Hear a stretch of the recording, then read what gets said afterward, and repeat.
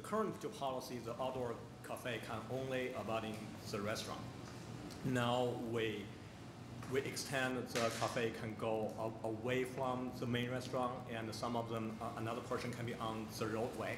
So that's a major change. Um, uh, we hear a lot from internally and uh, some comments from uh, the public, and I think the policy is uh, uh, too ready for commission to take action.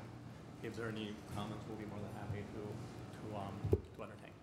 Thanks so much, Sean, for your work on this. I think there are some members of the public, uh, Wendy Landman, who would like to uh, speak on behalf of Walk Boston uh, related to this.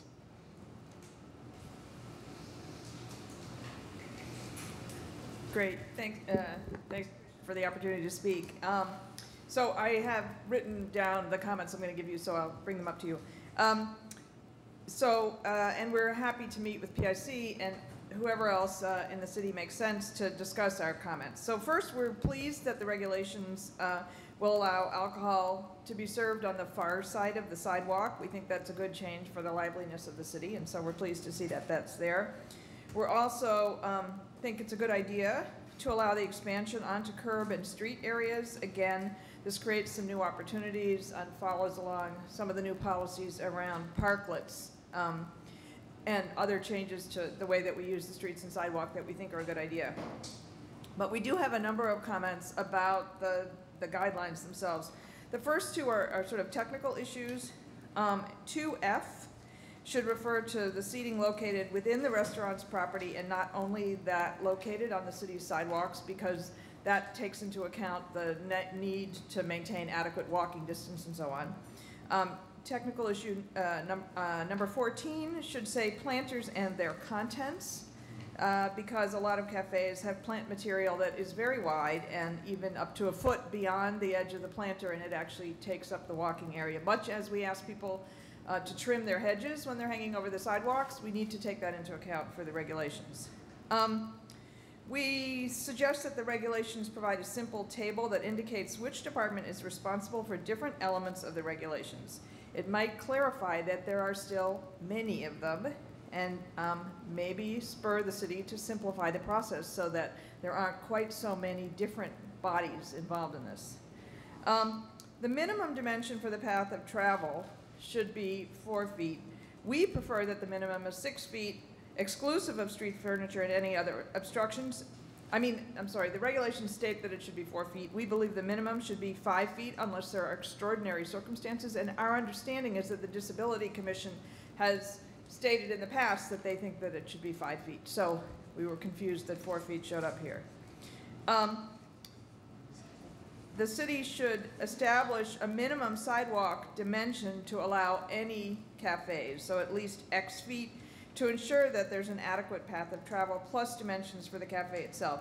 And I think the city, we think the city should make that determination before issuing the guidelines. Right now, it says fifty percent, but um, if you have a busy sidewalk and it's ten feet wide, that probably does not actually allow for a cafe with the, the dimensions that are required. Um, we would like the city to look at modifying the rule that the cafe should not occupy more than fifty percent of the sidewalk, because that may not be appropriate for very wide sidewalks, where we could imagine that you could have more than fifty percent and still have lots of sidewalk, um, but it may be insufficient for narrow sidewalks. Again, uh, sort of that refers back to this same, this issue of the minimum path of travel. Um, we believe that there should be a requirement of a minimum of 15 business days of notice for review by the public and require that the plans be available electronically so that upon request they can be reviewed by the public, much as the, the way that the BPDA now does it. Um, I will say that when we've tried to find this in the past, it's really complicated and there's not much notice when a cafe is going to appear and there's certainly not a drawing, so it's hard to see. Um, the cafe must be removed from the sidewalk when not in continuous use. Um, the season can extend beyond May to September. In fact, we're happy to see some cafes providing heating because we think that extends the life of the city. But we believe the regulations should say something about removing all the cafe equipment and furniture if it's not in use for more than 10 days, for example. Um, obviously, sometimes a proprietor goes on vacation, so you don't want to make it just a day, but just letting it, the stuff sit there um, shouldn't be allowed. We believe that there should be a set of, a schedule for fees and permitting costs. They could be based on size, location, restaurant revenues, et cetera, but it should be transparent. The way the guidelines are written right now, it seems to be at the whim of the PIC. Not that you guys are necessarily whimsical, but sh- it should be a transparent, uh, set of guidelines. Uh, We believe there should be opportunities for pop-up cafes for short-term use, sort of the one to five day um, that goes along with uh, festivals or special events in the city. And finally, we think it's really important to set a schedule and program for enforcement, including a point person to respond to public complaints when cafes are not following the rules. And we have attached a photo of a cafe, not named, but in the South End, where there have been public complaints. They shifted slightly, but really, the walking area is not adequate, and the walking area is entirely in the brick trim area.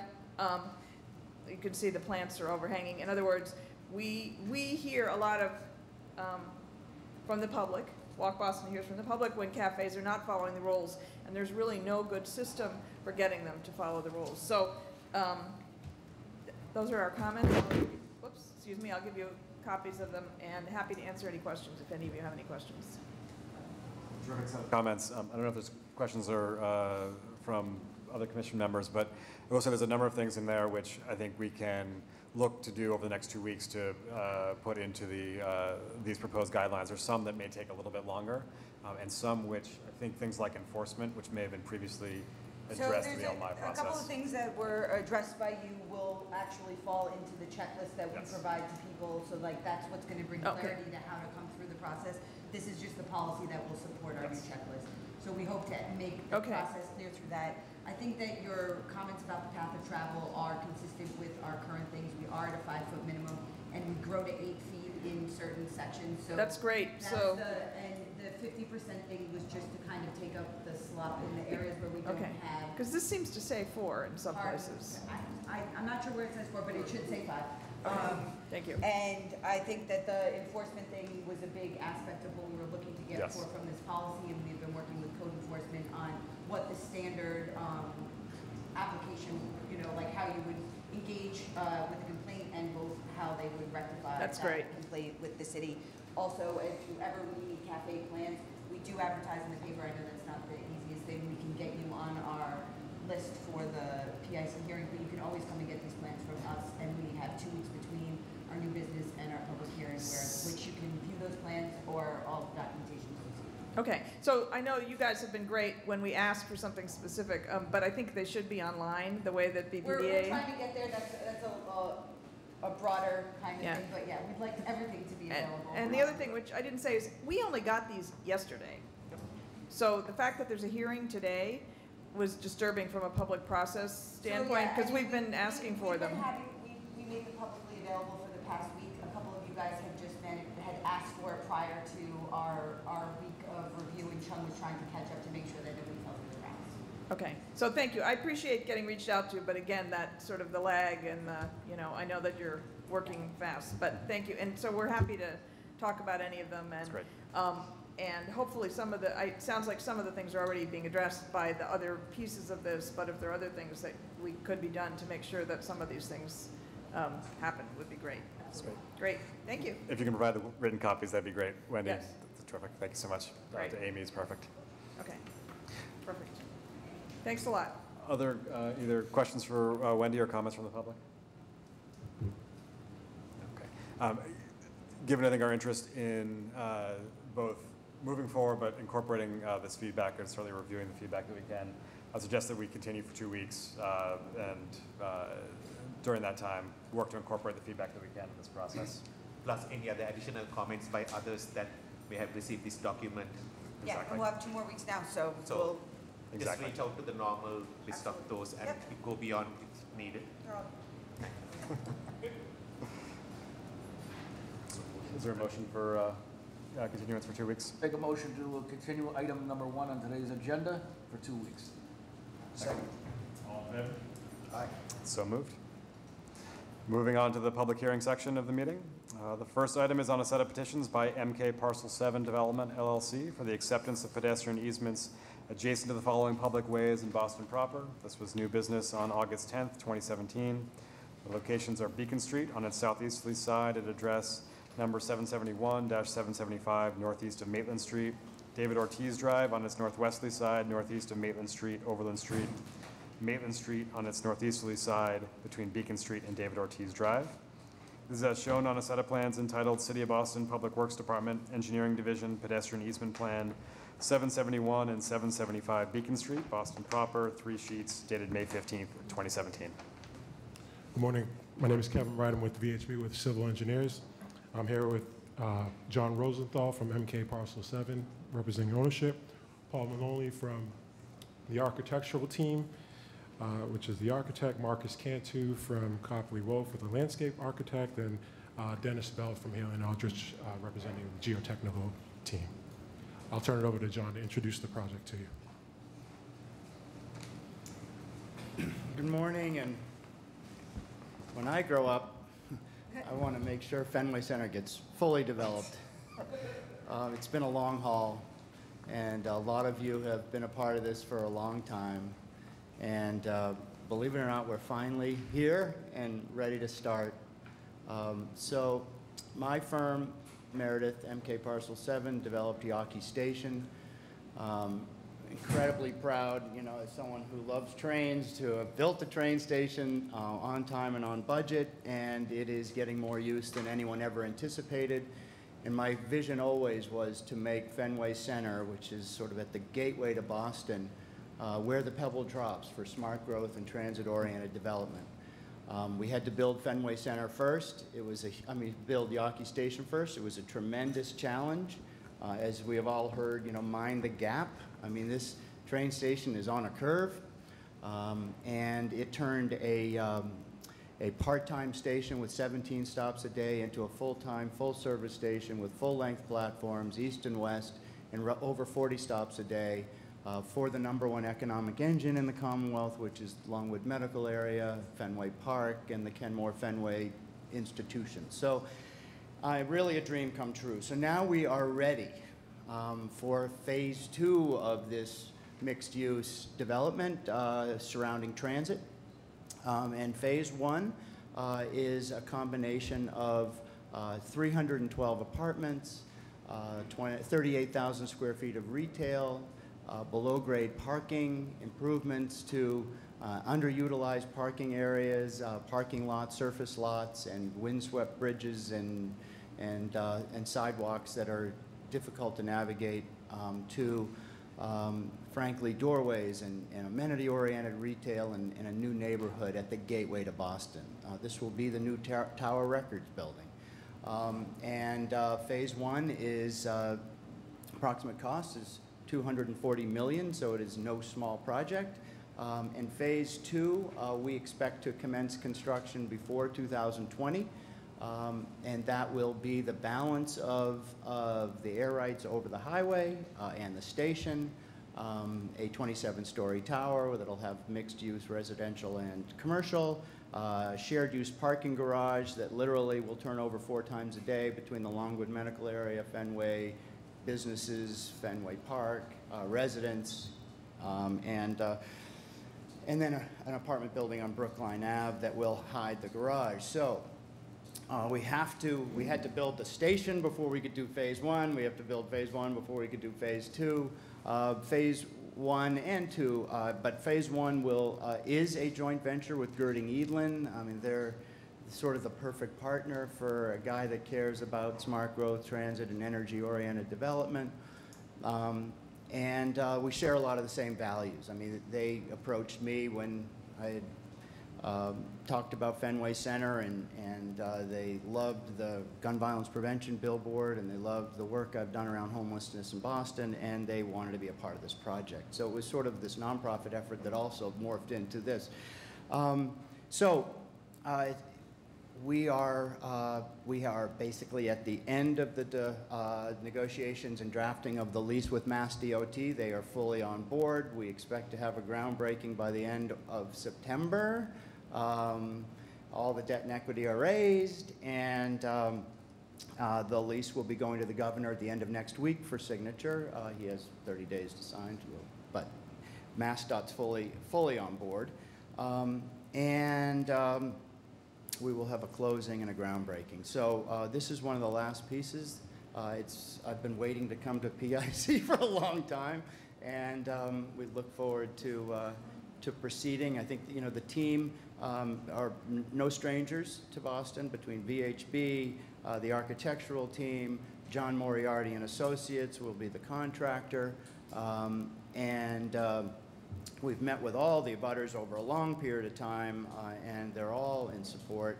Um, We've been through all the permits and approvals and uh, literally ready to begin as soon as we have this approval, the signature from the governor, and, um, and we're off and running. So thank you so much for your support and patience over the years, and uh, look forward to getting this thing done together.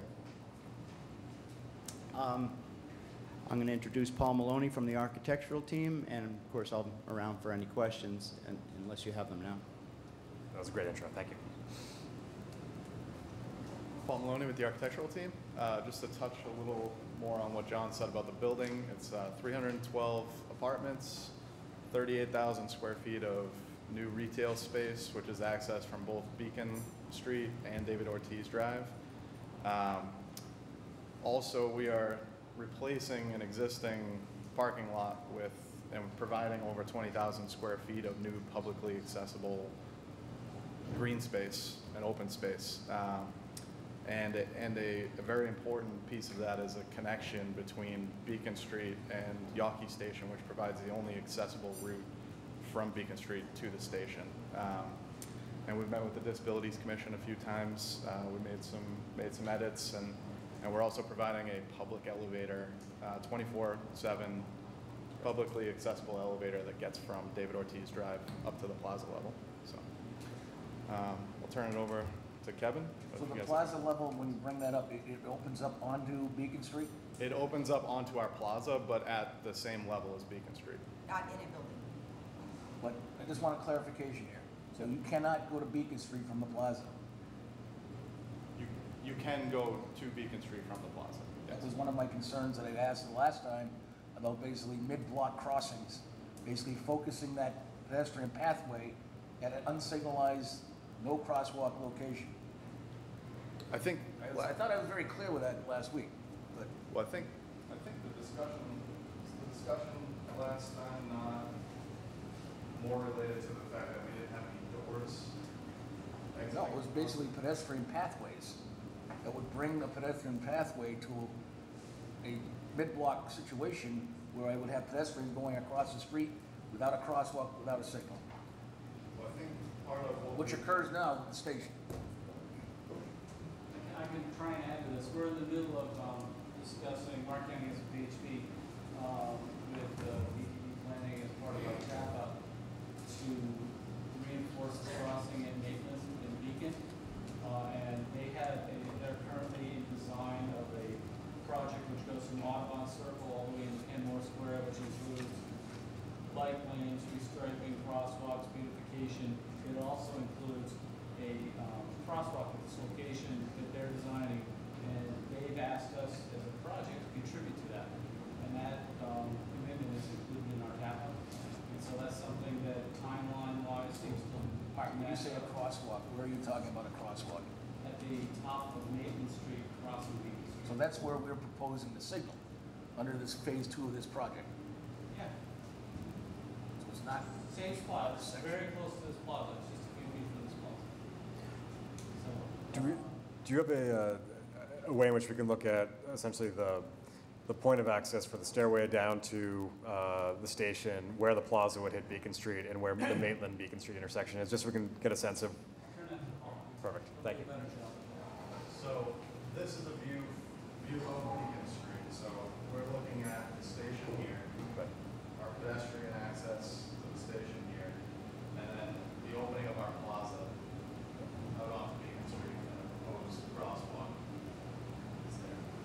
know the distance from the proposed crosswalk to where the train station plaza hits the street street grade? From the train? Yeah, from like there to, to where the crosswalk would be. What's that distance? I'm guess it's about 100 feet. No, I think he's, you're, you're talking the more northern portion of a lot of the plaza, which is. Well, people are only willing to walk so far to get to a crosswalk before they jaywalk. So it'd be nice to know how far away the crosswalk will be. So here's the proposed crosswalk. The the plaza that we're talking about is this plaza between buildings one and two, where there'll be an elevator. And how do you get to the train station? So get to the train station by either coming across here, uh, going into the elevator, or uh, walking through this plaza down the grand stair to the train station, or if you're uh, with a disability or don't want to come down through the stairs, just come, come along the 12, it's a roughly a 30-foot pedestrian deck over the inbound platform and the train uh, rails. Uh, That So- will be built on air rights over the station. Okay, so then if you go that way, then you have to go down a set of stairs. If you go this way to the station, there's four glass enclosed elevators at the mezzanine level of the train station that this pedestrian deck goes directly to at the same grade, and then you're down elevators or stairs. So where do you envision most of the pedestrian traffic coming from, let's say, the crosswalk area getting to the station? What is the path, of- the Well, anticipated path of travel? Yeah, currently, you know, folks are coming from Brookline or down Beacon Street, you know, basically are just going along the sidewalk and this long bridge, right? Just Kenmore Square, you catch the train. Or they're going down, uh, stairs, new stairs that were built during, when we built Gotham Station. And they're directly from the Beacon Street Bridge down to the station platform. So, in fact, before you get to that point, you can come in here and get into an elevator down, uh, or you can walk down this way. So it's, it's either those elevator, I mean, those stairs go away because one, they're not accessible. Uh, and this new landscape pedestrian deck goes directly to the, to the elevators. Or again, you come into this, what we're calling a plaza between the buildings and get an elevator. Or stairs down. So it's a grand stair versus just those open stairs to the left. Again, the concern is what's occurring today, where people come out of the station up to Beacon and walk across the street unprotected is the concern. So when they come out of the station, they can walk along David Ortiz Way, and go back up Maitland Street, which they've been doing for a long time, and that comes right to a crosswalk here. Or they can come up the grand stair and go crosswalk, or either way.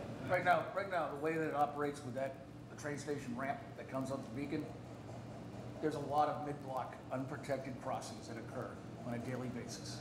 I actually think that this deck will drive more of that foot traffic through David Ortiz, because if you, if the train drops you off on the inbound platform, there's no stair to get you up to Beacon Street anymore, we've eliminated that stair, so you're, you're sort of forced, so you're either coming down here, taking the elevator up to the platform, or you're just coming straight out here and walking the same. So the, the crosswalk proposed for Maitland, is that phase one? Yes. And right now, right now, right, right now, it's not proposed to have a signal, correct? No. And I asked you to get Don Burgess the warrant analysis? He's, he's in the room, we actually had a meeting on it last week. Um, between Charlotte and Don, they're totally been plugged into the warrant analysis. So Don has a copy of the warrant analysis. Yeah, and Charlotte, Charlotte asked us for additional information on pedestrian warrants, were collecting the data this week, and we got yesterday. Um, to build a case on the pedestrian side, if the vehicular side is done. Um, and that'll prove the timing of the signals one way or the other. Okay. Also I appreciate that. flashing, right? Well, part of the, the larger. Right now, there is no good crosswalk across there, so people can Right. walk where they want. And I think when you, hundred feet down, when you create a, a good crosswalk with some kind of protection, it's gonna hopefully draw the folks into the crosswalk, I hope so. Yeah, I think people do want to cross that formalized intersection where they have a confidence level, but again, they're only willing to walk so far. So nailing down what that distance is, I, I'd like to know that. But since the Uh, I bridge is on an BTD would angle, to. since the bridge is on an angle, your destination might be Mountfort over here. Yeah. So you're not gonna go like this anyway. So there's people trying to get here, so we're hoping to draw them into a better crosswalk. And thi- and this distance here is thirty-five feet, so we're talking about roughly close to about eighty feet from the beginning of that pedestrian path of the train to the crosswalk. Just keep in mind, you know, you you have anything you do with the plaza and stuff to, to basically formulate a, a pedestrian desire line to the crosswalk. Right. Any techniques, we want to take, try to look at that. The same thing with specific repairs we'd be looking at at Beacon Street, things that we can do to encourage folks to use the Maitland crossing rather than to Right. the cross across Beacon and other places. Kevin, can you talk a little bit about the, the easements, the, the first item, and then we'll move on to the specific repairs? Yes.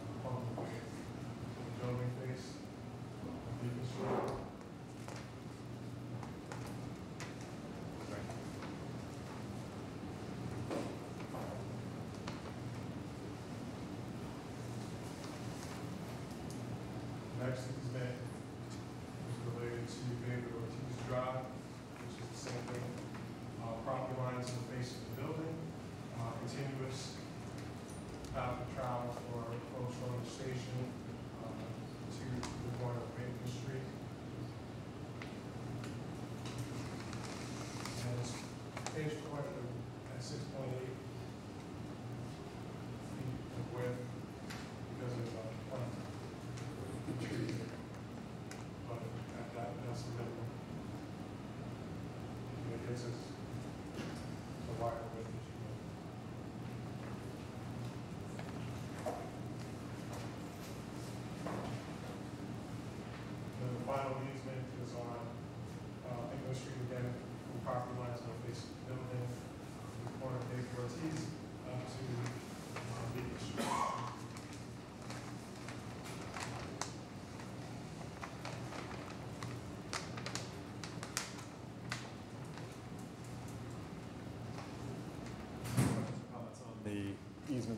Particular? Amy or Todd? All right, members of the public? All right, I'll entertain a motion on uh, this first item. I'll make a motion to approve a petition by MK Parcel Seven Development LLC for the acceptance of pedestrian easements in Beacon Street, David Ortiz Drive, and Maitland Street as read into the record by the chair and as shown on a set of plans entitled City of Boston Public Works Department, Engineering Division, Pedestrian Easement Plan, seven seventy-one and seven seventy-five Beacon Street, Boston proper, three sheets dated May 15, 2017. All in favor? Aye. So moved. Moving on to the second item. On a set of petitions by MK Parcel 7 Development LLC for the making of specific repairs within the following public ways in Boston proper, consisting of sidewalk and pedestrian ramp reconstruction, as well as new and relocated specialty pavement, street trees, landscaping, and driveway curb cuts. This was new business on August 10th, 2017. The locations are Beacon Street on its southeasterly side at address number 771-775, northeast of Maitland Street, David Ortiz Drive on its northwesterly side, northeast of Maitland Street slash Overland Street, and Maitland Street on its northeasterly side between Beacon Street and David Ortiz Drive. This is as shown on a set of plans entitled City of Boston Public Works Department, Engineering Division, Specific Repair Plan 771 and 775 Beacon Street, Boston proper, four sheets, dated May 15th, 2017. Uh, Again, this is the Beacon Street uh, specific repair plan. Uh, We Initially, we had thoughts of planters and trees and things like that on Beacon Street, but after coordination with um, the Disabilities Commission, National Grid, and talking further uh, with those groups, uh, it seemed like this needed to be a wider uh, width and restricted anything like like that would not help.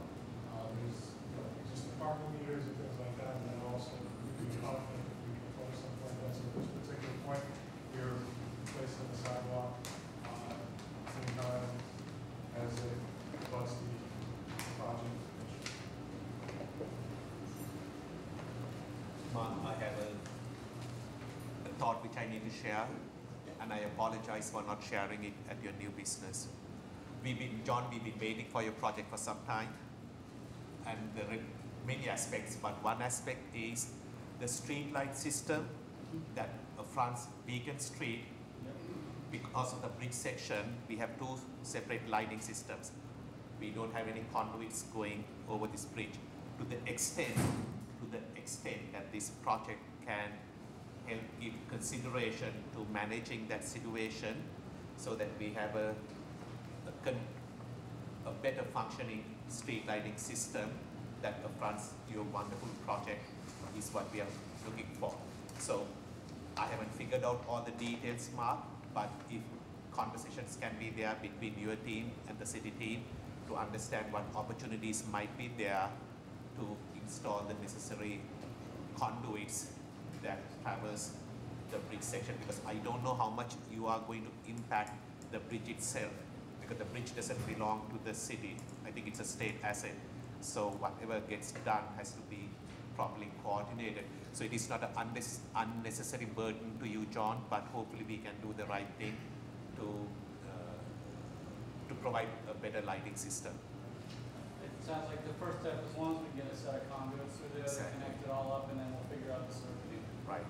One thing to note that, you know, to build on what Kevin said, is that along Beacon Street, under the street, the street's held up by essentially hollow boxes, and they did that to keep the load over the T-tunnel light.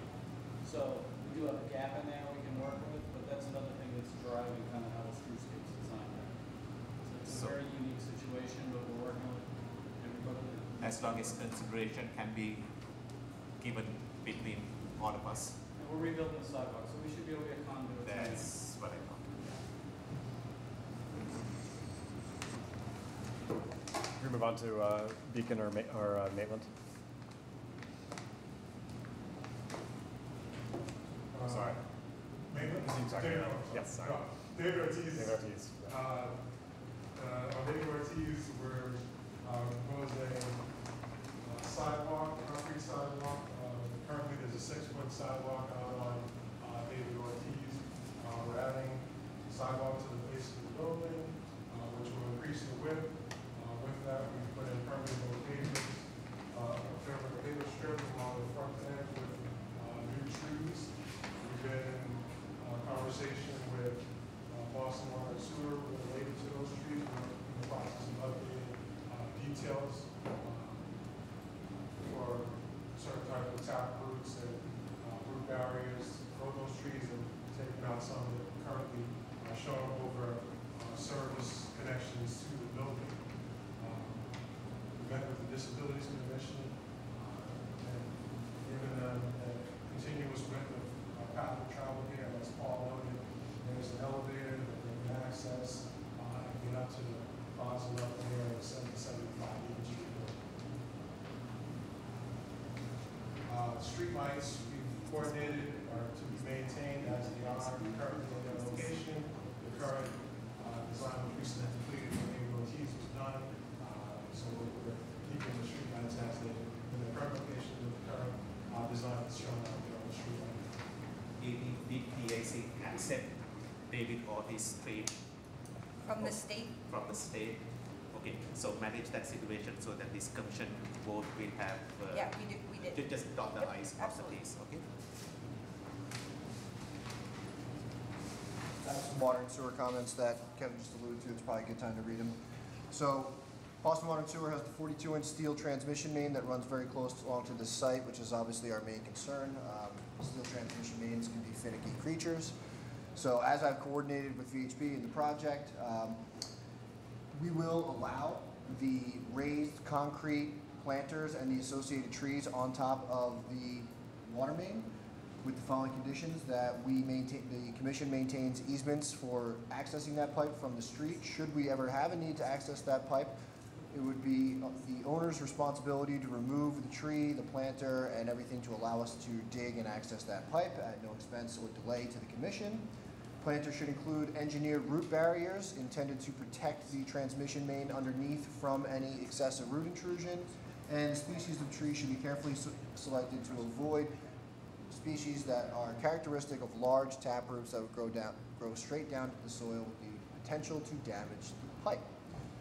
Further, no trees shall be planted on top of water, sewer, or drain services to the buildings. These are considered private laterals that the commission will not own, and it is in the best interest of the project and the project owners to avoid any issues with their private laterals resulting in trees. Thanks. All of the maintenance comments, we will make sure are incorporated in the associated LFI. Thank you. Other questions or comments on the specific repairs? Just to reinforce the conversation we were having earlier, obviously, we want to make sure that as you create this plaza, as you improve the access to the station, that we are doing all the things that you guys want to do of making Beacon Street, the frontage on Beacon Street, even a more lively, wonderful place. We want to make sure that's a safe crossing. So as you proceed with the TAPA, um, to work with Don uh, and Charlotte on uh, potentially signalizing Maitland Street from the beginning, looking at the plaza design to figure out how we actually encourage folks to cross at Maitland uh, rather than taking a, a different path of travel over to Mountfort Street. Amy or Todd? No. Members of the public? Okay. I'll entertain a motion. Make a motion to approve the petition by MK Parcel Seven Development LLC for making specific repairs within the following public ways in Boston proper, consisting of sidewalk and pedestrian ramp reconstruction, as well as new and relocated specialty pavement, street trees, landscaping, and driveway curb cuts. All is read into the record by the chair and is shown on a set of plans entitled City of Boston Public Works Department, Engineering Division, Specific Repair Plan 771, 775 Beacon Street, Boston, proper, four sheets dated May 15, 2017. Second? The third item is on a petition by MK Parcel 7 Development LLC for the granting of an earth retention license for the installation of a temporary earth support system within the following public ways in Boston proper. Beacon Street on its southeasterly side at address number 771-775 northeast of Maitland Street, and Maitland Street on its northeasterly side between Beacon Street and David Ortiz Drive. This was new business on August 10th, 2017. This is as shown on a, on a plan entitled City of Boston Public Works Department, Engineering Division, Temporary Earth Retention Plan, Fenway Center, Boston, one sheet dated August 11th, 2017. Again, I'm here with Dennis Bell from uh, Haley and Aldrich, who will speak to uh, what is shown on the temporary support plan. Any groundwater district? What's that? Is this, is this in the groundwater overlay district? This Is this in the GCOD district? I, I will, I'll Can verify. Yep. Thank you. I'm Dennis Bell with Haley and Aldrich, and to complete the underground portion of the, this project, the parking garage will be installing a slurry wall within the limits of the property line. However, to construct it, we need some, some room in order to construct the slurry wall, and that's where mainly the uh, soldier pile lagging system that we propose along Maitland Street. The majority of it is within our property. Uh, There is a small portion up near Beacon Street that will be on, um, next to, on public property. And then also on Beacon Street, uh, we'll be taking the sidewalk. Again, there's a vault structure on top of the Green Line Tunnel currently. We'll be exposing that. And to maintain Beacon Street, we'll be placing some concrete gravity blocks, um, three foot in height, just to maintain Beacon Street. So, that's, Amy, uh, I'm sure this project has gone through cycles of review, but to get this PIC board has Transit Realty or its equivalents within MBTA. You folks need to get PIC a letter from the MBTA stating that the MBTA operations are, are contained with your plans. Okay, and I'm sure you have done that, right? You have something on these plans, please say yes. Yes. Thank you. I'm, I'm being serious, okay? I, we have, uh, we have worked with Otherwise you're MBTA. asking this commission to do something that is a little bit awkward, Right. okay? So make sure that we have that paperwork so that this commission can take the necessary recording purposes. Do we have that paperwork today? But I think that uh, Paul can alliterate what they just met and finalize some things with the MBTA. We just had a follow-up meeting with the MBTA, So- our final. Dot the i's, cross the get the paperwork to Ms. Cording so that she can do her thing. Thank you. So when you're talking about putting in this uh, temporary earth support system up at Beacon Street and taking the sidewalk, so are we talking about the city of Boston right away, or are we talking about the bridge DOT, Mass DOT? City of Boston. City of Boston. Ah, Yes. All right, City of Boston. So the construction management plan, I believe has not been approved. It's, uh, yeah, Right, so kind of making an assumption about giving away a sidewalk here uh, based on that design. That's a conversation we're going to have to have between the project and John Moriarty and Associates to get that uh, in process, because I haven't even looked at the plan. So we need to get that done. So the amazing VHB team, just do your homework quickly so that this project, long-awaited project can maintain its uh, momentum. Okay? I think it's fair to say that this is probably the most intrusive version. If we sit down with you and you decide you want something modified, it's likely less intrusive, so. Okay, let's, let's get that done, get, get on the schedule and we'll, it's an important project. We want to make sure that this gets expedited properly. These are small details in the larger scheme of things, okay? Because you've done great work, but you guys need to support the team, okay? So do your thing. And if the contractor has a do it right.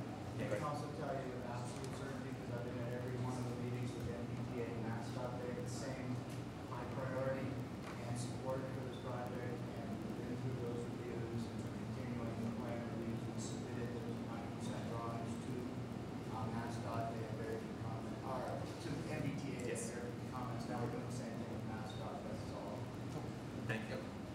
coordinating. Great. Other questions or comments? Amy or Todd? Members of the public? All right, I'll entertain a motion uh, on this item contingent on uh, final receipt of the necessary approvals from the state. Make a motion to approve a petition by MK Parcel 7 Development LLC for the granting of an earth retention license for the installation of temporary earth support system within the following public ways in Boston proper, as read into the record by the chair, as shown in the set of plans entitled City of Boston Public Works Department Engineering Division, Temporary Earth Retention Plan, Fenway Center, Boston, one sheet dated August 11, 2017. All in favor? Aye. Thank you. Can I just make one quick comment, because this is the culmination of many years, and uh, it is absolutely a model for public-private partnerships. I mean, we- we've all lived in Boston for a long time, we all know what that sea of surface parking lots looked like before the state funded the new roads, and before the Yawkey Station. I mean, this is, this is really a great leveraging of city, state, private resources to improve the quality of life and turn surface parking lots and bridges into a neighborhood with doorways, and businesses, and residents. Uh, and, you know, I am deeply committed, appreciative for your efforts to help us make this sort of really where you can live, a model for where you can live, work, and play without the need for a car, and to improve the quality of life in Boston. Thank you for your service, and thank you for your support. Congratulations, milestone, yes.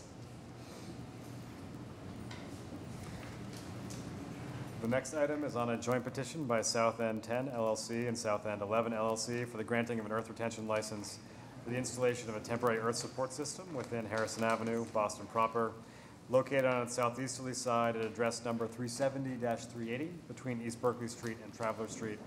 This was new business on August 10th, 2017. This is as shown on a set of plans entitled City of Boston Public Works Department Engineering Division Conceptual Temporary Excavation Support Plan, 370-380 Harrison Avenue, Boston proper, three sheets dated June 2017. Good morning. Um, Thank you for the opportunity to present to you this morning. My name is Andrew Hayes with Related Beal.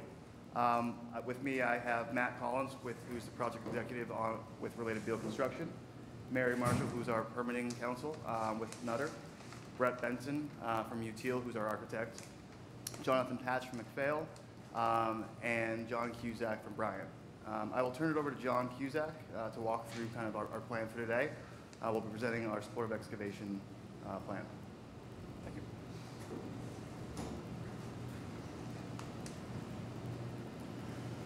Good morning. We presented the plan initially at the new business portion of the public hearing uh, two weeks ago.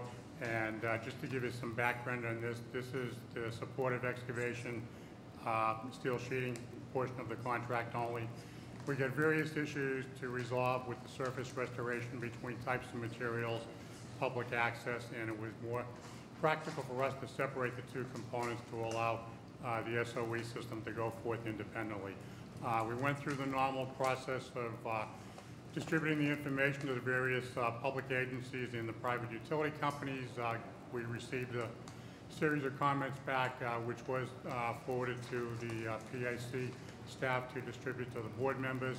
And we did have a, uh, started the conversation at the new, new business portion of the meeting last week. And probably the most significant outstanding item to reach resolution on was the traffic management plan. And in the meantime, uh, Matt Collins has had a couple of meetings with BTD to try to get that going in the right direction. Uh, Jonathan Patch, the geotech engineer uh, from McPhail, who designed the supportive excavation system, is here also, and he can answer any questions on the SOE system.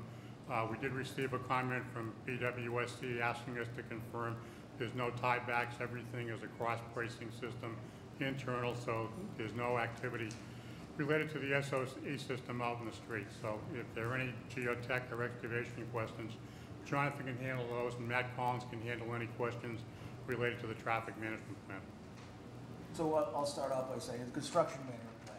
Um, I've met with Mr. Collins on a couple occasions, and I think that we've made uh, good progress. And I appreciate, Matt, your, uh, your team being available and uh, basically taking in the conditions, what, what we've been discussing. I think we've made good progress, so I'm comfortable uh, moving forward on this.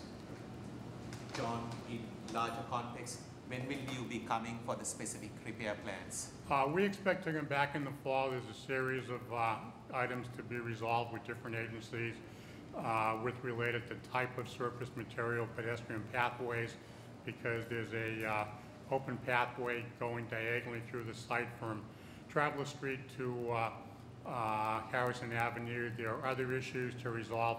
Uh, There are a series of uh, trees under consideration uh, in the same vicinity of the existing BWSC uh, ductile iron sewer, which is in the existing sidewalk right now. And there's other issues about uh, surface features such as bike racks.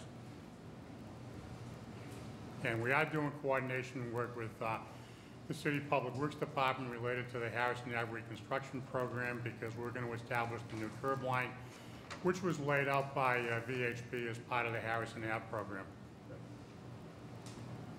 So probably in the fall. When are you planning on starting construction, or has it started already? Matt can answer that. Uh, Right now, all we've done is abating the building. We've only abated the building as of today. Um, We're looking forward to uh, demoing the Bakery um, September, October. And start construction before the end of the year. So to do this work, you will still need to pull permits from the Public Works and Transportation Department? Yes. We have made the first round submittal to BWSC in the site plan review process. We have comments back from them. Uh, So that's one of the next things we'll be going forward with. And the applicant, they've, they've received comments from us uh, regarding the support of excavation, the uh, pre-inspection of the sewer in close proximity, and the vibration deflection monitoring for the, during construction activities when you're excavating below grade. And after we uh, reach final agreement with BTD on the construction management plan, we need to go visit with the MBTA because they have a bus stop on East Berkeley Street. Other questions or comments? Amy or Todd? Members of the public? All right, I'll entertain a motion. I'll make a motion to approve a petition on the previous page. Joint petition by South End 10 LLC and South End 11 LLC for the granting of an earth retention license at Harrison Avenue as read into the record by the chair and shown on a set of plans entitled City of Boston Public Works Department, Engineering Division, Conceptual Temporary Excavation Support Plan, 370 through 380 Harrison Avenue, Boston proper, three sheets dated June 2017. All in favor? Aye. So moved. Thank you. Thank you. Our next item is on a petition by Big Night Ventures 5 LLC for the granting of a sidewalk cafe license for seasonal outdoor seating within Tremont Street, Boston proper, located on its easterly side at address number 186, north of Boylston Street, and consisting of seating for 24 persons and approximately 155 square feet within the public way. This was new business on August 10th, 2017. This is as shown on a plan entitled City of Boston Public Works Department, Engineering Division Sidewalk Cafe Plan 186 Tremont Street, Boston proper, one sheet dated August 14th, 2017. Good Morning, members of the board. Kristen Scanlon, counsel for the applicant, Big Night Venues, Boston 5 LLC. With me this morning and seated to my right is Robert Stan- Stansel of Beacon Architectural Associates, uh, who I know was with you at the new business hearing regarding this proposal for a sidewalk cafe outside of 186 Tremont Street at a new restaurant to be known as Explorateur, which is a new tenant of the Grand Masons Lodge. Um, At this point, I'll turn it over to Mr. Stansel to walk you through any changes made uh, since the new business hearing regarding the proposed sidewalk cafe and can certainly answer any additional questions the board may have after that. Thank you, Kristen. My name is Bob Stansel from Beacon Architectural. Uh, Again, uh, this is the Sidewalk Cafe application for 186 Tremont Street, which was heard at the new business on uh, August 10th. Uh, Subject to to the initial filing for this, we have heard from the uh, Boston Planning uh, Agency and also from Disabilities Commission with some comments and adjustments to the plans have been made in accordance with those uh, planning, planning agency primarily dimensional questions. Um, The adjustments for the disability commission comments had to do with the table bases, which have been adjusted, and the uh, type of barrier uh, to make sure there was cane detection. Uh, We've changed from a bollard and chain, which was shown on the original application, to a uh, more uh, solid fence. Uh, Those will be shown, uh, those will be shown. uh, this drawing here, so that's a new update to, uh, to the application. And one photograph, uh, which maybe people haven't seen, we've taken down the barriers from the building uh, as of last week. And this is a photograph of the restaurant, which we hope to open in the next several days. Uh, And the cafe seating will occur in front of each of these bays of windows. Uh, One of the adjustments that we made to the dimensional layout that um, is taken um, in in response to the comments of the new business, we've actually narrowed the sidewalk seating at this end, which is the narrowest piece of part of the sidewalk. Uh, We now have six foot six clearance from the front of the uh, sidewalk, front of the cafe seating to the outside of the first uh, heating, six inches further than that. Uh, Again, the cafe seating is uh, 24 seats. uh, and there is, uh, are two openings in the, in the entrance, one at the entrance of the restaurant and one at an exit from the building. which you can see again in that photograph.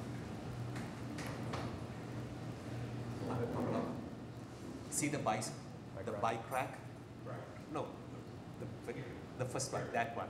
Now, I'm not sure whether that shows up on your plans. Can you put up your plan? Does the bike rack show up on that plan? If it did, I didn't see it. Because what my concern is the six feet, six inches pinch point. That's about, I'm not that tall, but if I was six feet, six, it's about this size. And there's so much pedestrian traffic there today because of the school. So we continue to be very excited about this project, but we need you to be recognizing the fact that if we find people spilling onto the sidewalk, I'm sorry, to the street, that would be uh, undesirable situation, and we will need your consideration to adjust these as the needs of the city. We'll also I might just, I might just add that the level of service analysis that was submitted did account for the, uh, the bike rack in the analysis. Oh, okay, so- so It's not representative, but the, the engineer did Did provide that. So, uh, again, I'm very happy that the analysis has been done, which gives us the comfort to approve this. But again, during operations, because this analysis, it doesn't show peak time uses, okay? And if we find that it is an awkward situation, we hope that you will continue to work with the city to adjust the width of the, s- thank you, sir. Either way, we'll need to see the bike rack on the plan and the dimension from your fence to that bike rack. And if it doesn't meet our minimum dimension, or maybe just for your own business, you would consider moving it to the it. wider part of the sidewalk in the furnishing zone. Exactly. So it is a possibility to move the bike rack to another location? 100%. Perfect. Yeah, it is. Exactly. Other questions or comments? So I- I've seen the front, it's beautiful, I think it's a a tremendous, uh, you know, upgrade for that uh, area, and uh, it it's- looks like an exciting space. I'm glad you made it through last weekend, I know there's concern about um, the frontage that you had put on it, so that, that's a relief, I'm sure. Yeah, now the barriers are down, it does look good. It does. Oh, thank you. We just want it to be the best. Amy or Todd? Members of the public? Please. Hi, I'm uh, Doug Meyer with the Downtown Boston Business Improvement District. Uh, We were established in 2010. Uh, We work on behalf of our property owner members to make conditions in downtown crossing better for all community stakeholders. Our, um, just to give the commissioners a a concept of our exact official boundaries, our northeast corner is 28 State Street. Our nor- northwest corner is the Steaming Tea Kettle Building, 63 Court. Our southeast boundary is more or less um, the State Street Financial Tower, 1 Lincoln Street. And our southwest boundary is 186 Tremont Street, uh, the Grand Masonic Lodge, where, of course, uh, this proposed sidewalk cafe is to be um, operating. So needless to say, uh, it's an extremely vital gateway for us there, the corner of Tremont and Boylston. Everyone is very aware with, uh, aware of the uh, immense pedestrian traffic volumes there. Uh, we would like to give our qualified support for this right now, and I say qualified only in terms of um, a fluke of timing, and that our, our senior planner uh, did not have the opportunity to uh, review the site diagram uh, and whatnot. Um, nevertheless, uh, over the past few years, we've uh, within the BID, I believe there's been four PIC-approved sidewalk cafes that have opened. You have Caffè Nero on Summer Street Plaza, the Burnham Building, right next to the Roche Brothers Sidewalk Cafe, also on Summer Street Plaza, outside the Burnham Building. And then you have outside Millennium Place, the Caffè Nero there, and also the Legal Crossing uh, Sidewalk Cafe, also outside Millennium Place. Um, In each case, we always strongly advocate for them, but uh, where the conditions could change, we work very closely with those operators to make sure that if any fine tuning has to occur on the fly in, in, to address changing conditions, that that works as best as possible.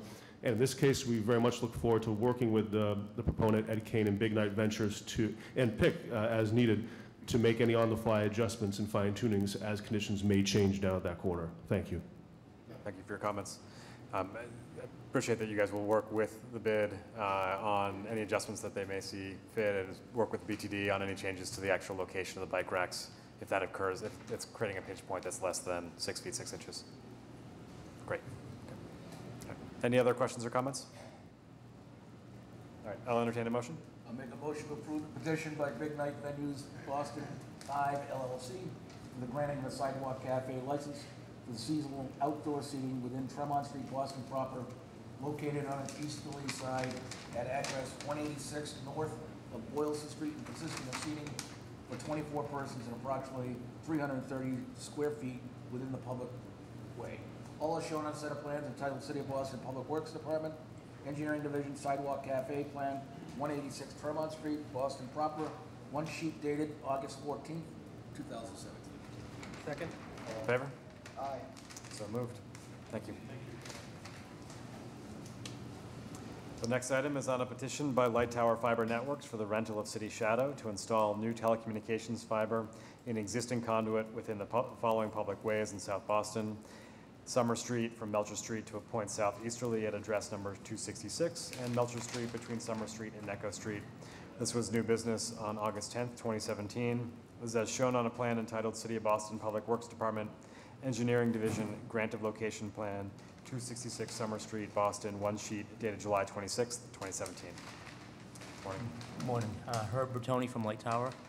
Um, There have been no changes, and everything has been cleared with uh, Amy and Todd. This is the public hearing. You need to say a little bit more. Um, Basically, you are renting City Shadow.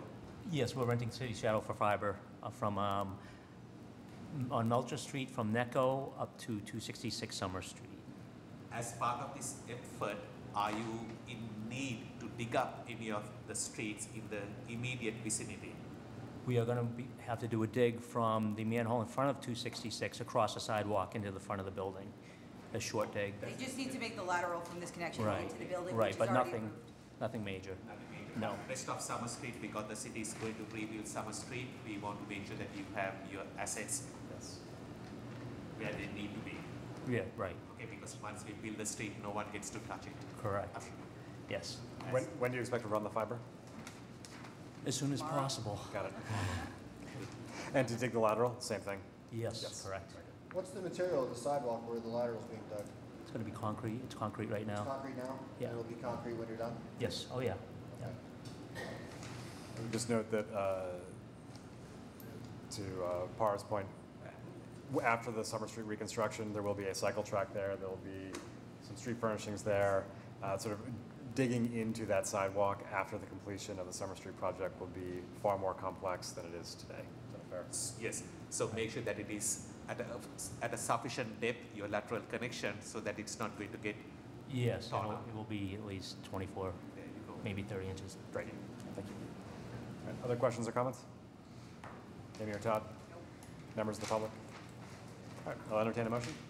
I make a motion to approve a petition by Lightower Fiber Networks for the rental of s- city shadow conduit in Summer Street and Melcher Street as read into the record of- by the chair as shown on a set of plans entitled City of Boston Public Works Department Engineering Division Grant of Location Plan two sixty-six Summer Street, Boston, one sheet dated July 26, twenty seventeen. Second? All in favor? Aye. So moved. Okay, thank you. The next item is on a petition by National Grid for a grant of location to relocate a gas regulator station within Bowdoin Street, Dorchester, to be located on its southeasterly side, northeast of Quincy Street, below the grade of the sidewalk. This was new business on August 10th, 2017. Uh, This is as shown on a set of plans entitled City of Boston Public Works Department Engineering Division Grant of Location Plan, Bowdoin Street at Quincy Street, Dorchester, five sheets dated June 27th, 2017. Good morning, and thank you uh, for allowing us to come back and um, follow up on, I believe, two items from the last meeting um, following the approval. Um, And actually, I'd like to cover uh, cover one additional one as well. But on Bowdoin Street, uh, we had two two requests. One was to um, redesign from the gas line around the water out in that design, so we, we have done that. That is the new uh, plan for that, so that addresses that concern. And we also had a, uh, a very pr- productive meeting with the uh, Commission on Disability to review the uh, plate. Um, In fact, we have uh, left uh, samples with, with her, um, and she has granted her approval on it, and uh, I think we've, it's, I'll try to say it without too many S's, but it's a safety sure grip slip resistant plate. From that end, it's actually um, higher grade than, than what's even required. Um, So it's a, it's a nice little sample from that end. So uh, from those two follow-up items, we, we believe we cover those two from that end. And can you just talk sort of in general about the need to uh, build the new regulator, move the current regulator, and replace it with this new regulator? Sure, um, and if I miss some, I'm sure they'll be able to help me. But uh, one of the things that we're trying to do as the city improves as well, um, we're we're improving our infrastructure, um, both from a safety and a reliability standpoint. Uh, Safety is is twofold, really, um, for the uh, safe service of natural uh, natural gas uh, to all the customers uh, that this regulator station serves, as well as the uh, men and women from National Grid that are going in and working on it. Uh, The older systems have one vault. We have to climb in from that end. This new design, and, and the old one is 50-plus years old, uh, so you're running into a, you know, concern from that standpoint. This new design actually um, separates the, the uh, higher feed coming into the lower feed, so we're able to uh, work in both areas um, in a safe fashion from that end. Uh, Additionally, this, uh, these regulator stations were, were designed to put in, uh, from a low-pressure standpoint, uh, put in certain areas to roughly maybe 2,000, 3,000 customers are running off these regulator stations. So again, any improvement that we can do, both replacing pipes, but also uh, the critical component of those services going on, and the regulator stations are that. And we do have a short window in terms of when we work it, uh, because you never know when the winter's coming. Knock on wood, hate to say that in August. Um, But, you know, we have to, we have to look at that and try to get in there. Other questions or comments? Please. So I went back and looked at that water main that kind of is right in the middle of, of your work. And it, lucky enough, we, it is a nineteen seventy-two, uh, cement line ductile iron pipe. In terms of water main age, it's very new. There should not be a problem with it. Please be ginger with it. Thank you. We still went ahead and designed away from Yep. the salt. Yes, make sure that your construction paper, No, we'll, you know we'll, what I, yep. Yes, yes, yes. No. try not to build it on. no, no, thank you for that, but we did go ahead and and redesign it as well from that end. Um, Mr. Chairman, members of the board, I'm Sarah Leung from the Disabilities Commission. Um, As previously mentioned, we did meet with engineers um, from National Grid to discuss um, the vault cover door. Um, Commissioner McCosh was present, and we all agreed to move forward um, with the design as proposed with the understanding that future projects would have um, a vault cover with um, the specified coating. Great. Thank you, sir. Just want to make sure that National Grid understands future projects means anything beyond this one. Like the next one they come to, they should. Correct. meet Um, needs, so right? these- That you got a free pass We- on we- this We'd one. act, no, we'd actually like to kind of put it in, For you know, this to one. writing, so it's all. Yes. There you go. So I believe the project at Arlington and Beacham Street will also be, um, proceed as The proposed. Charlestown. Um, but all future projects, um, beyond these two projects will, um, have that coating. And just for clarification, it- Arlington and Beacham will have the previous coating. This project and all future projects will have the approved coating. No, no. No, no, The with one the, on- The one at Quincy and Bowdoin. Yes. Will, will- will have the existing. that Got it. Proposed, along with uh, Arlington and Beacham. Beacham. And after those two, all future projects will right. have the coating that was. approved. Correct. so I, so I think we had two follow-up items to do, and uh, both will be using this to safety sure grip slip resistant. I'll keep practicing. Okay. Other questions or comments? Amy or Todd? Members of the public? All right, I'll entertain a motion. I'll make a motion to approve a petition by National Grid for a grant of location to relocate a gas regulator station within Bowdoin Street, Dorchester, to be located on its southeasterly side, northeast of Quincy Street, below the grade of the sidewalk, shown in a set of plans entitled City of Boston Public Works Department, Engineering Division, grant of location plan, Bowdoin Street at Quincy Street, Dorchester, five sheets dated June 27, 2017. Second. All in favor? Aye. So moved. Thank you. Thank you very much, enjoy your day. Moving on to new business. First item is 40 Enterprise Street, Clapp Street, Dorchester. Pedestrian easement specific repairs on a set of petitions by the Pipe Fitters Association.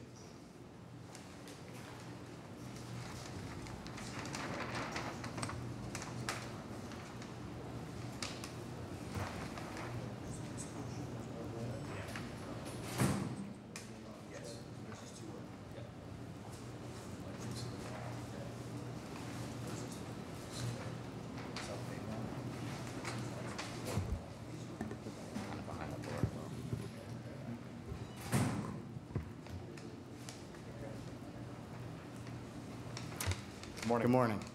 Uh, Steve Materano from Bohler Engineering, here to present the 40 Enterprise Street.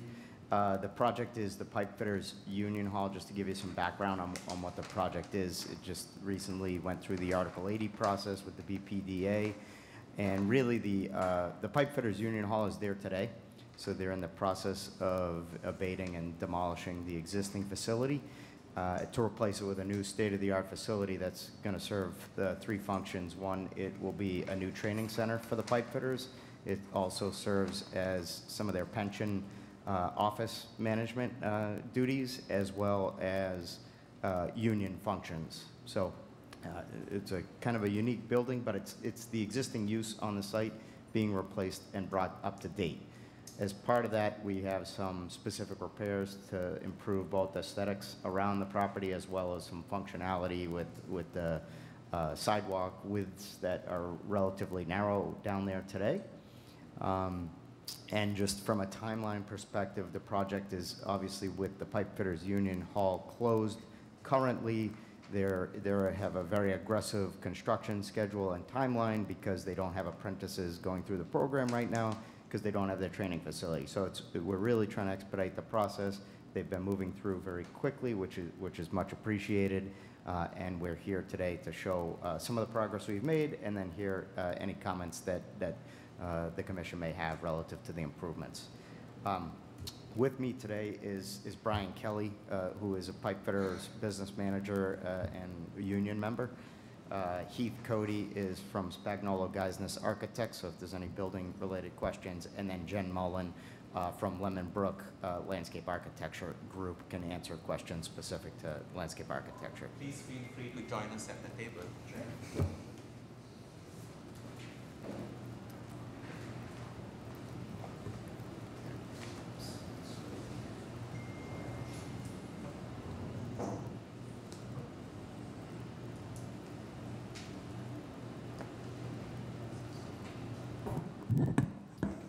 So the, the improvements here, uh, it's, it's uh, relatively small, so it might be a little bit difficult to see from that distance, but really what it is, is we're trying to widen the sidewalks. How we accomplish that is we're proposing uh, pedestrian easements on both Enterprise Street and Clapp Street to allow the width to, to widen out um, the sidewalk to provide uh, some permeable paver strips, as well as street trees, and then provide a full five-foot minimum sidewalk, concrete sidewalk, to meet uh, the accessibility standards that the city has set forth.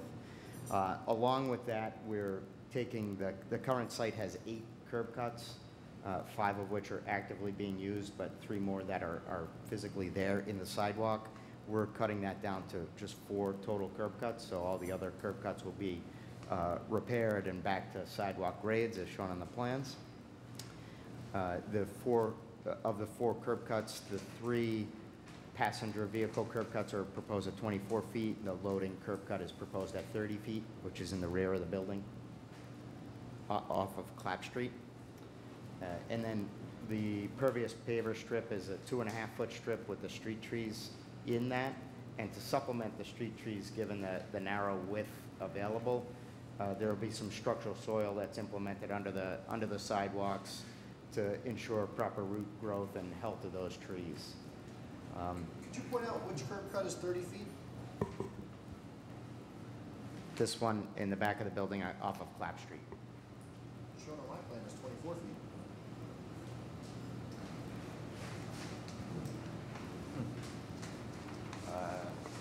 Okay. Uh, It's, we're currently proposing 30. Okay. Make sure, have the plans reflected accordingly, because the twenty-four foot is, doesn't require PIC approval, if it is more than that, it does. So make sure that the plans show it correctly. Uh, That little, little bump out thing on Enterprise Street, Yes. that work is being done by whom and when? That work is part of the South Bay uh, expansion project. Yes, we did. Uh, what- We requested that thing. That's, it's- it sounds so stupid. Uh, What's the, what's the width of the side, the street? No, no, okay, you got a pinch point, a crosswalk, what is that? I know it is outside this, but all of these pieces do. Right, it's Pinch to, up. it's to prevent the turning movement, so like it's. Yeah, but fire truck needs to go through there, I'm going to assume, and this all got approved, and that's minimum twenty feet. Yeah. God bless us all, okay. Yeah, so the, the, t- they will allow less than twenty-six as long as it's not for a protracted period of time, because that's for outriggers, so that they know that they could stop, it's a bump out, they'll allow it, but not. But your building is going to go up really fast, yes, I mean, that whole site plan. And that work is to be done by someone else at a point in time in the future. I don't know where they fall as far as their construction schedules and who's gonna be where first. Do you have any communications with the South? Uh, this is the same, he did South Bay, so I think that we Okay, could probably. okay, So just ensure that, because I, I get a feeling your project is going to be up, running and finalized. What's your timeline for construction, roughly? Mr. Chairman, the timeline is, is roughly the same as the South Bay project, Okay. so we're going to be working together. together. So, uh, just a little bit concerned about that. Hopefully, it will meet your needs as much as the totality of needs. So hopefully, that little con- that pinch point can be flexible. Yep. Okay, because we are all guessing as to what your needs are going to be with the escape traffic coming out of South Bay. Just to go along with that, as Commissioner uh, Jayasinghe said, I sent some comments on the construction management plan relative to the coordination issues, uh, some of the site utilization. Uh, Haven't heard back yet, but I know you're probably working diligently on it. But that should be cranked into the CMP relative to the phasing with South Bay in this project. Should be represented in the construction management plan of who is building what.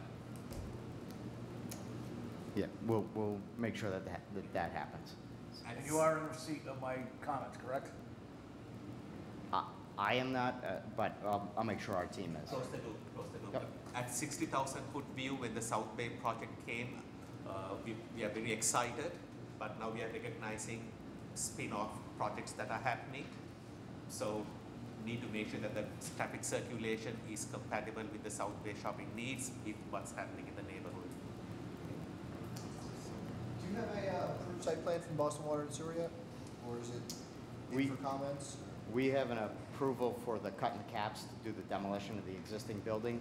We've been through one round of review on site plan review for the proposed development, and we're responding to some comments now, so. Great. We're halfway through the process. Excellent, thank you.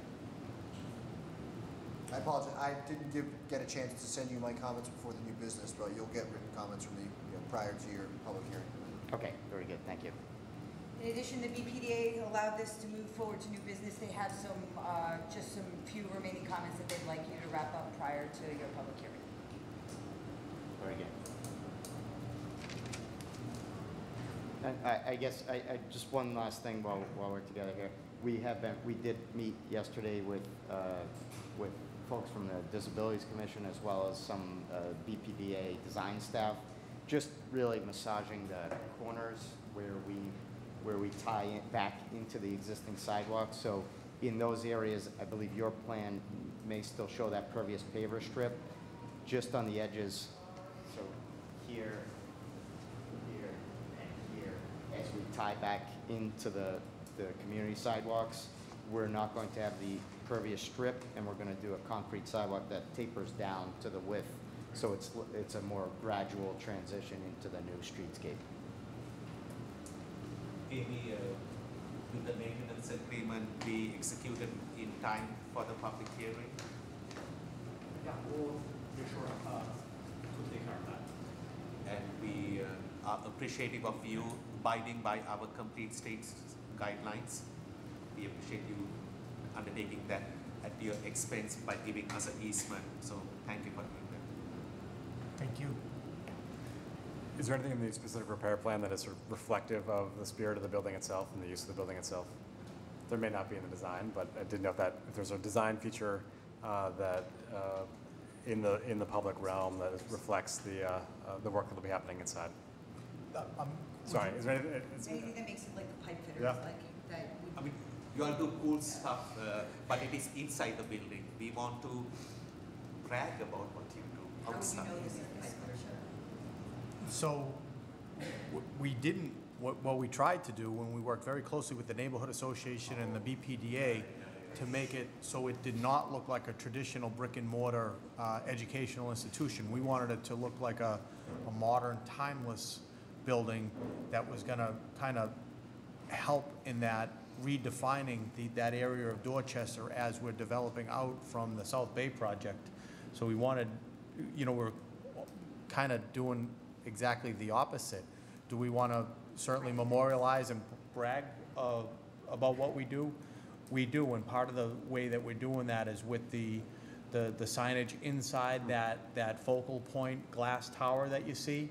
And then the entire, if you look down at the bottom right-hand um, corner of that rendering along Enterprise Street, that whole uh, bottom, that, that's all glass. That, that, that looks directly in from the sidewalk to our actual training uh, booths where the guys are are welding, soldering, brazing, and cutting, so we can show off what we do. So, yeah. Thank you. I, Perfect. you know, I, I hope that That's- answers your question in a little bit roundabout way. I just want to be able to reflect. It- it- It's a way for folks to understand what's happening inside the building and understand the work that's going on on our streets. So we, we have a, a, a rich history in this area. We've been there for over 50, 50 years. It was really, really important to keep our roots in the city of Boston and the, and, and celebrate that rich, uh, labor history that Dorchester has. And, and, and to stay here is, is, is very, very important to certainly myself and, and the generations of members that I represent. Couldn't have said that better. Thank you. Thank you. Other questions or comments? Amy or Todd? Members of the public? All right, Is two weeks enough time? All right, we'll see you on September 7th. Thank you. The next item is Kinsale Lane and Milton Avenue in Hyde Park. A line and grade appro- approval on a petition by the QAN Company.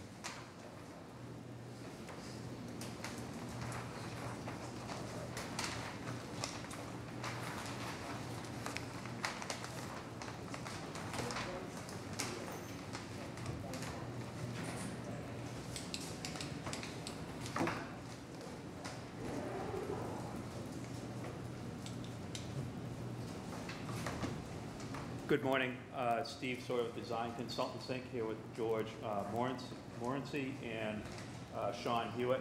George is legal counsel for uh, the applicant, and Sean is- works with uh, Cohane Company.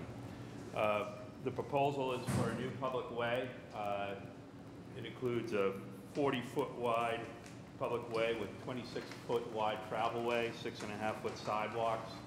The total length uh, of the new roadway would be about 300 feet. There is a uh, hammerhead turn- turnaround. The purpose for this, this new way would be creating frontage and access to eight new lots. It's roughly about, I think it's about 1.7 acres of land. Uh, The location's at the very end of Milton Ave, near the Milton, uh, in Hyde Park, near the Milton border. Uh, This is very typical to the neighborhood in that area, smaller single-family homes, all single-family homes in that area. Streetlights, Uh, We ha, actually, we need to coordinate that uh, with the lighting department. Uh, We actually had an initial meeting with BRA or BPDA. Uh, I, I guess sometimes these small streets, lights are- are not, uh, sometimes they're not favorable just due to light pollution out there, Uh, but I imagine we want to Let me see. say For one safety, thing about we- that. yeah. So if it is a public street, it needs to be lit. Yeah. Otherwise, it could be awkward for both you and I and those who are going to buy into that area. Otherwise, they will ask us. So do work with the Public Works Department, Street Light Division folks to make sure that the lighting design which your team comes up with has been approved by the cities. Okay. Okay? Those We- lights also need to appear on this plan, because we can't Yes. vote without Okay. seeing the lighting as well as all of the water and sewer. water and sewer utilities because of it. So, eh, very excited about a project of this nature. Yeah. But the homeowners may require gas connections, obviously electricity is there, so need to sh- sh- make sure that the investment you are making is not going to be compromised Yes. Later onwards, right? Yep. Because once you give the street to us, it becomes the cities, and then we don't care for that street to be cut up, because then it becomes our headache. Um, Okay, so we actually have done some initial, uh, we had an initial submission to Boston Water Sewer uh, in coordination with Boston Public Works regarding water, sewer, and drainage. So that, that work, that, we have gone through that coordination.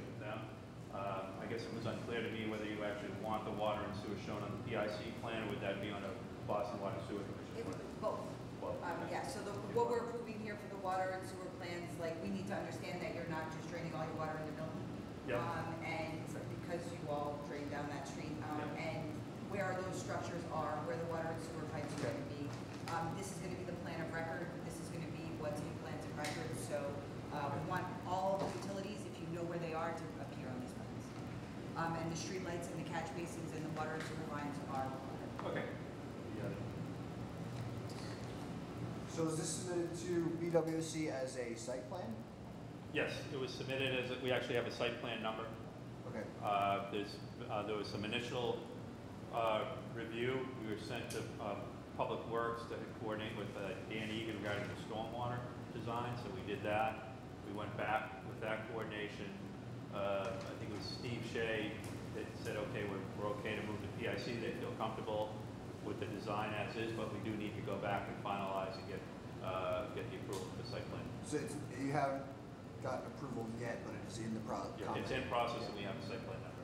And What is the purpose of the, of the, the bump out in the road? Is, is That, that bump out is for, uh, that's be a hammer, in, in lieu of a, a larger you know, a large turnaround for emergency vehicles, you provide a hammer, it's a hammerhead provided for the turning around of a ladder truck. okay, so that you just didn't have the room for a cul-de-sac, so Yeah, and it's small, it- it's small, maybe, you know, small road like that, you can, I, I think with BPDA, they said you could do either hammerhead or, uh, turnaround. Could you also do the following and seek his uh, Cordings guidance? Because this is in the Fairmount Hill neighborhood of Hyde Park. Yeah. It will be quite desirable for this commission to have the Mayor's Office of Neighborhood Services person be here at the public hearing to testify that the immediate neighbors within the Fairmount Hill Neighborhood Association are agreeable to what is being proposed here.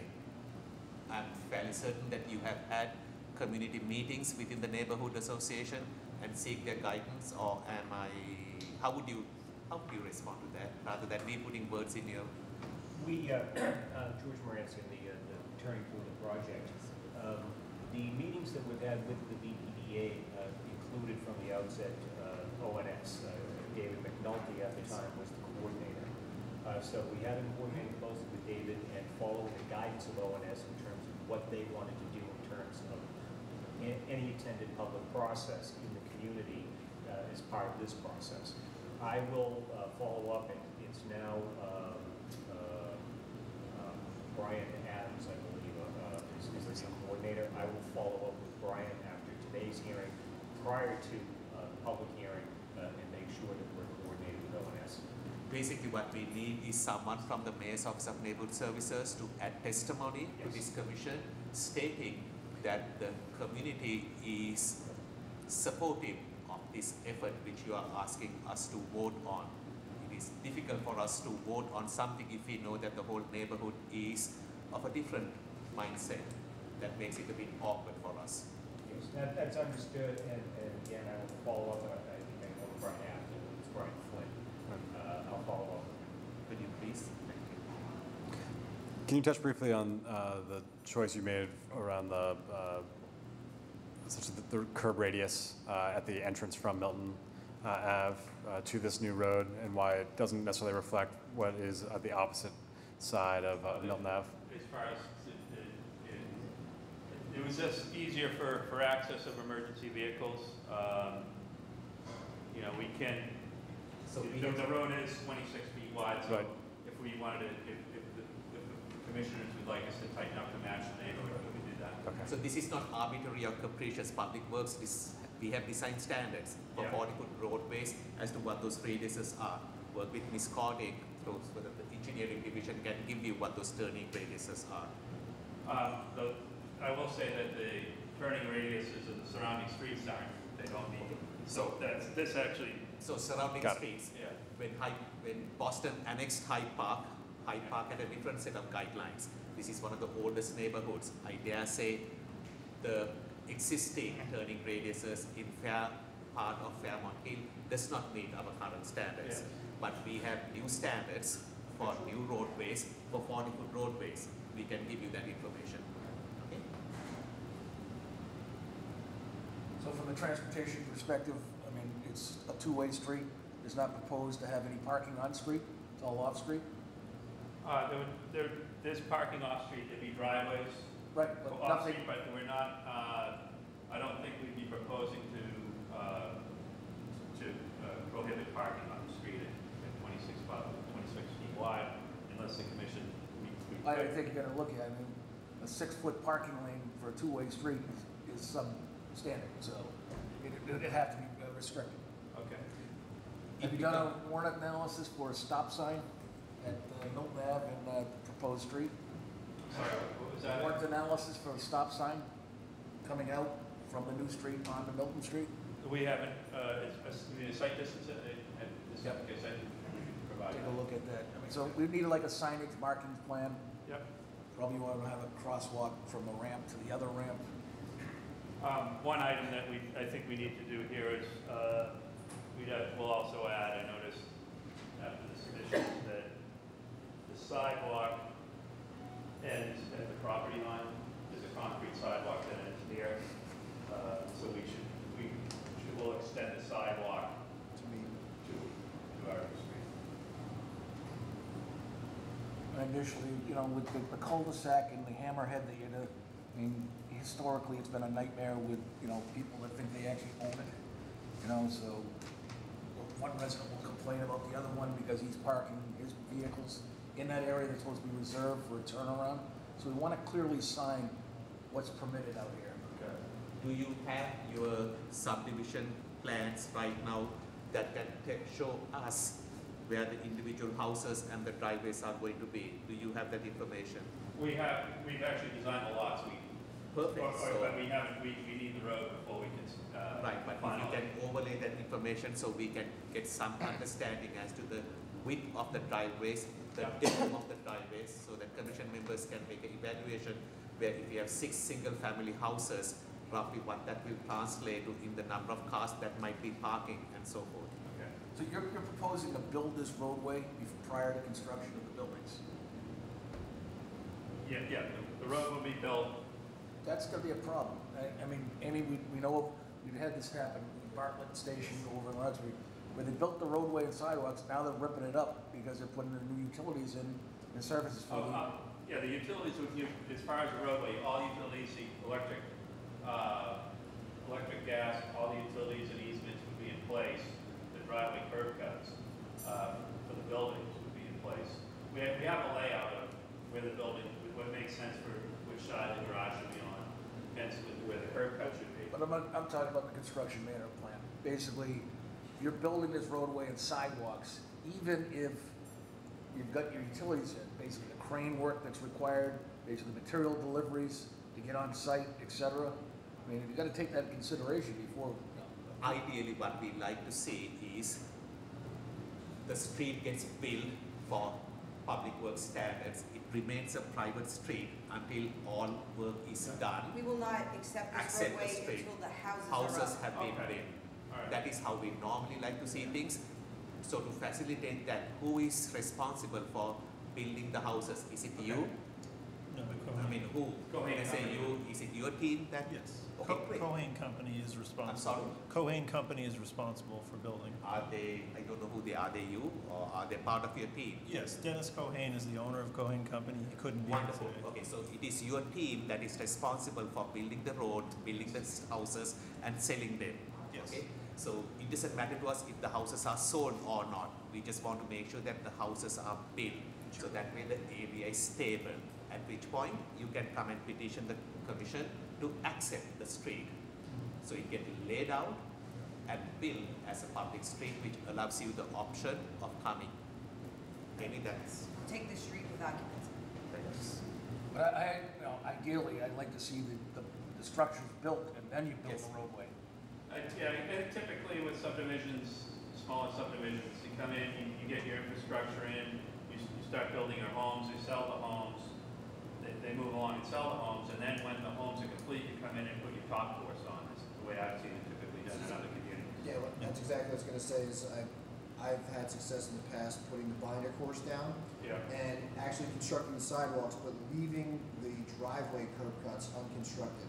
Yeah. And then after contractors are done building the homes, then put the concrete driveway aprons down and the, and the uh, binder course. Yeah, So you can yeah, butt fine. up, so you can butt up to it. Yeah. It just protects your investment or some, Right. don't tear up something that was nicely done, so keep it manageable. So before you give it to us, clean everything up nicely. Has uh, the ISD permits and the new street numbers been issued yet? No. And as uh, Todd had pointed out to me this morning, have you had any input or any discussions with the fire department regarding the turn radius and location of the, uh, the hammerhead? Uh, there was initial coordination with BPDA, uh, I can follow up with this, uh, confirm that this, uh. We need confirmation from the Fire. City of Boston Fire Department, not- Yes. not BPDA, because it's, it's their uh, turning radiuses that we're trying to. Right, BPDA is not in the business of building roads or improving them. That's this body here. So you get direction from the fire department, transportation department, public works, water and sewer, ISD. So your consultants decide, these are the J. Grantes firm, uh, right, DCI? Design consultants. Yeah. They are extremely qualified. The consultants who put these plans together, they are extremely qualified to answer all these questions. So just press upon them to seek the necessary answers to the questions that are being asked. Other questions or comments? Maybe you're Todd? No, we'll come up with a compiled list Thank you. of their Yeah. outstanding issues and. and Maybe is, do you think whether two weeks is enough for them to sort things out? Because I have a concern about, uh, then again, they may be eager to get, to, Yeah, I mean, if everybody comes back and says this is what they want, then two weeks is a, no, Okay, if they wonderful. need to start making modifications, we're probably looking at four. So. Your I'm just being mindful of the holiday season, some people tend to be on holiday, vacation. I, what's that? Probably need four, uh, probably two, two meetings out, so Yeah. there's some coordination. Yeah, so with four weeks. All right. We'll see you guys on the September 21st. All right, thank you so much. The next item is 29 Perkins Street at Day Street, Roxbury, the widening and relocation on a petition by the Massachusetts Society for the Prevention of Cruelty to Animals. This is us, yeah. I MSPCA. thought sounded Sahivian. Oh, you don't want to serve breakfast? Don't, don't be shy. The trap doors in the back.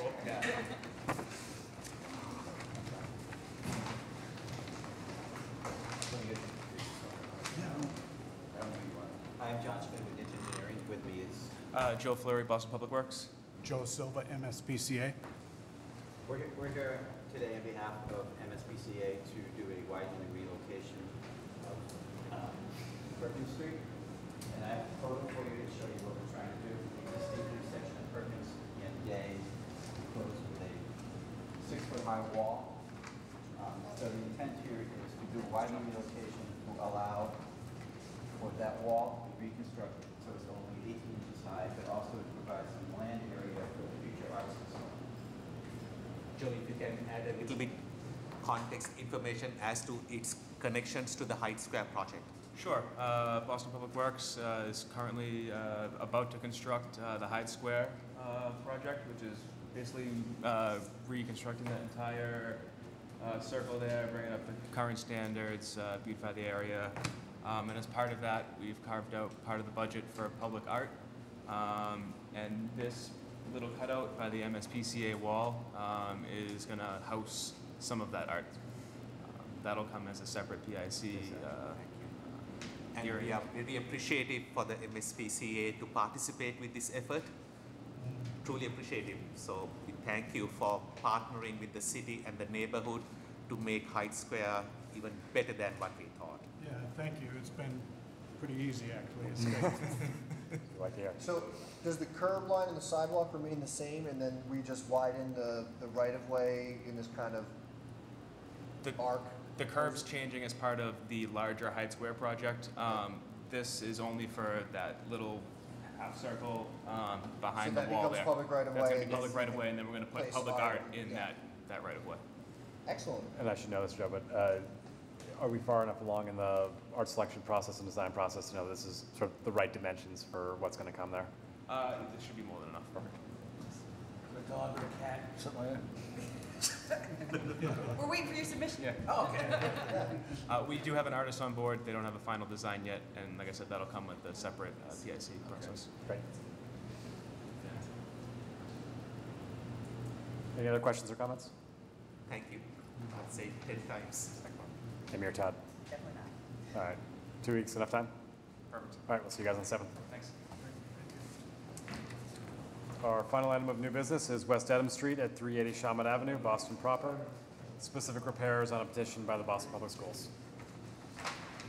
Good morning, John Smith with Nitsch Engineering. And This is a formality of reconstructing, and- oh, I'm sorry.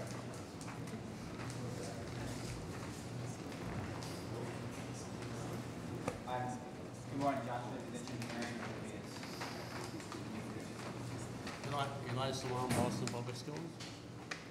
So This application is a formality of- of uh, formalizing existing driveway opening. Uh, I have some photos for you. That will take what is currently used as a driveway, but will be reconstructed in a manner that's compliant with city standards by using a concrete pad, curb radii, and accessible access. Presently, this driveway uh, serves primarily as a bus entrance for drop-off, and it is uh, restricted, and it is restricted to only bus uses in, in uh, school operations. The reason we're here is because of its width and the diagonal of the driveway. It makes it, uh, it exceeds 24 feet. So what is the opening going to be now? The opening now will be about 38 feet. So just to say back, this essentially will allow easier bus operations for students who are going to the Blackstone to be able to go, to get off of West Dedham and into the drop-off area for the Blackstone School. Go on. Peter Crossing with you guys, he's looked at this. He's in one of the. Yeah, Peter and and Julio Chow from my staff is, is That's good.